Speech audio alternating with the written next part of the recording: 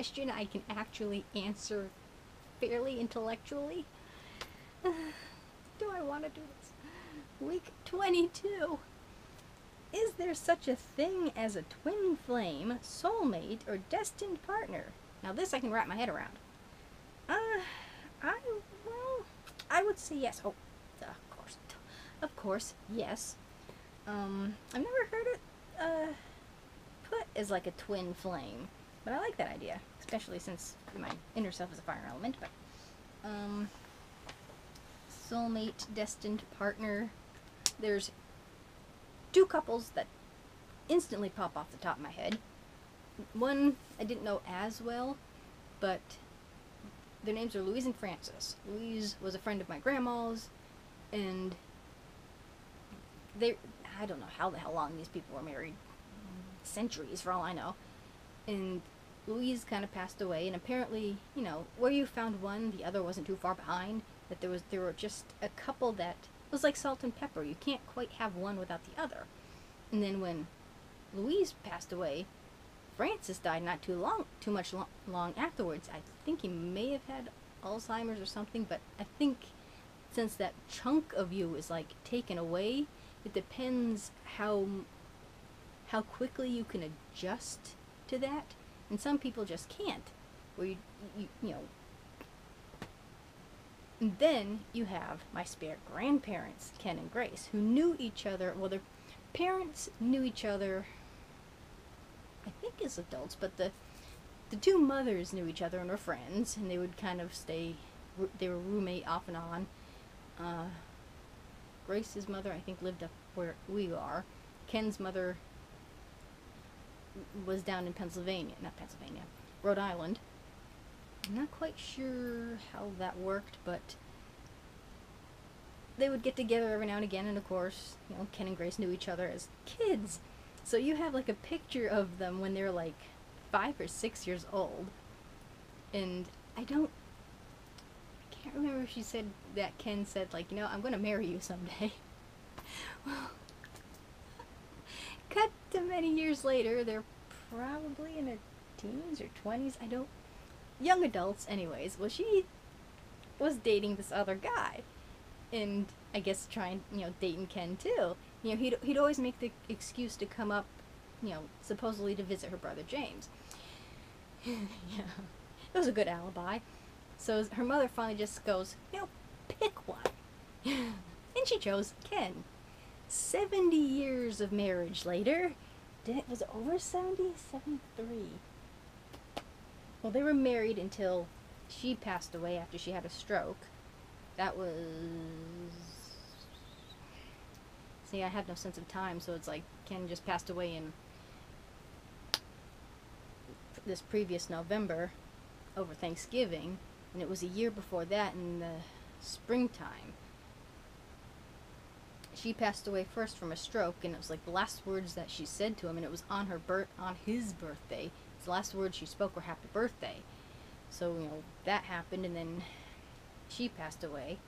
But we kind of distracted him, where you know I would be there all the time. I was seeing you know at the uh, apartment I think more than I was here, and it wasn't like a chore. You know, like I gotta deal with you, because I kind of was doing like his housework and stuff, and um, you know, we were just hang out because we, we were much more.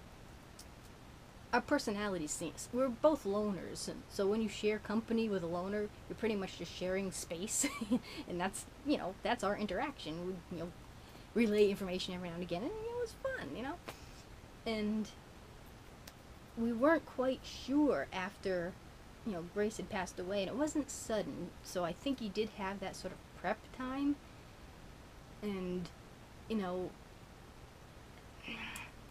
how do it's like you, you'd have to know them. They were just, again, like salt and pepper, day and night. You know, he, he wanted, And I think maybe being a loner personality does kind of help because you're inwards enough where you can kind of you never quite fully grab. So when it's pulled, y- y- y- there's more of you to kind of to retreat into. It's hard to explain. Loners might understand. But you know, we did keep an eye on him. He did have like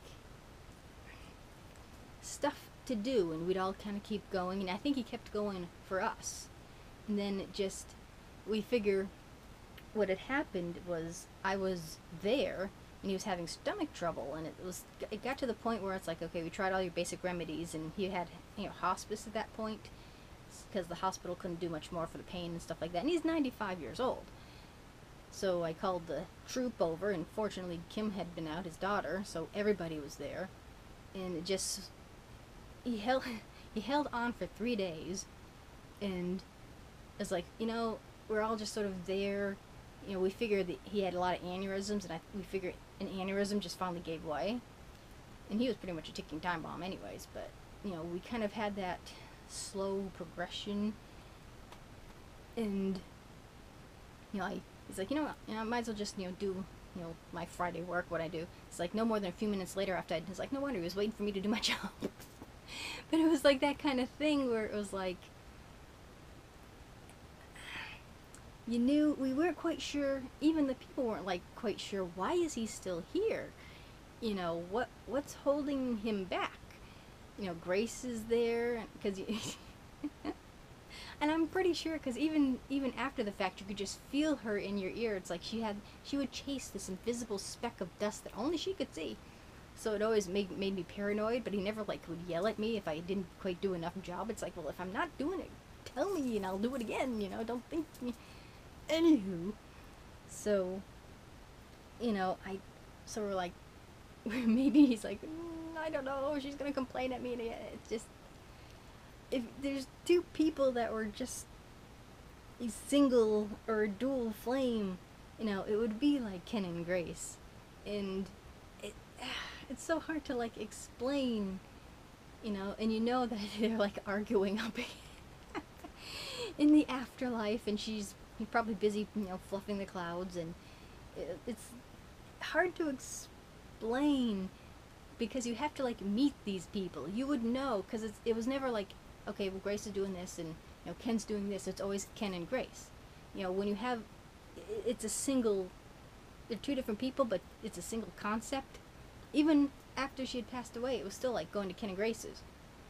You know, it, it, when there's so much a unit I mean, if you know these people, you know these people.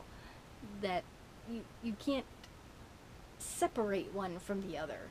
So, yeah, as a twin flame, a soulmate, a destined partner, um, recognition, you know, yeah. I mean, it, I don't think it happens to everyone.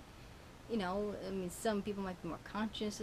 I, I don't know. It's I think it's a rare thing and a special thing when it does, and it was nice to kind of see that and be a part of that. Uh, so if you if you do see like soul partners, you know, watch them, appreciate them. You know, there's something magical there, you know.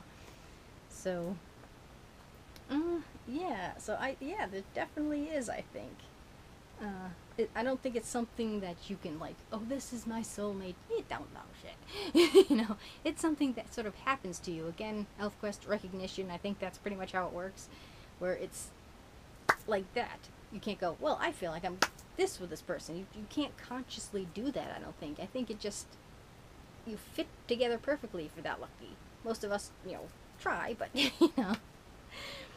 Uh, so yeah, it's yes, it's a rare thing. Don't know how it happens, why it works for some and why it doesn't. I don't know. Thank you for watching this 10 million year ramble on, you know, is there such a thing as a twin flame soulmate destined partner? Thank you for watching and blessed be.